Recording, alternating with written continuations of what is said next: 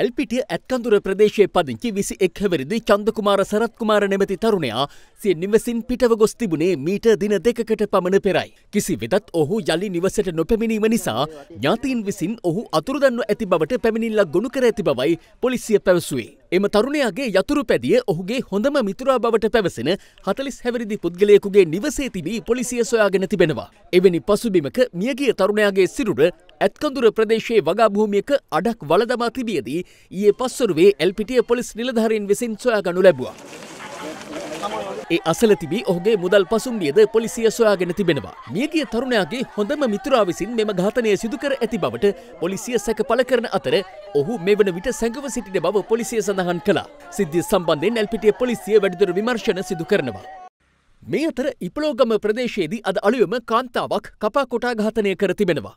එලෙස ඝාතනයට ලක්ව ඇත්තේ ඉපලෝගම හිරිපිටියාගම ප්‍රදේශයේ පදිංචි සමන්තික අධිකාරි නම් හතලිස් පස් හැවිරිදි දෙදරුමවක්. ඇගේ සැමිය හා ඇය අතර නිතර පවුල් ආරවුල් ඇතිවී තිබෙන අතර ඒ හේතුවෙන් ඇය පදිංචි නිවසින් පිට වෙනත් නිවසක ජීවත්ව තිබෙනවා. ඇය මෙලෙස ඝාතනයට ලක්ව තිබුණේ අද අලුවම තම සේවාස්ථානය වෙත යමින් සිටියදී. පොලිසිය සැකපල කරන්නේ ඇගේ සැමියා විසින් මෙම ඝාතනය සිදුකර ඇති බවයි. නෑ දැන් මෙයා මිනිහ මෙහෙ නෑනේ.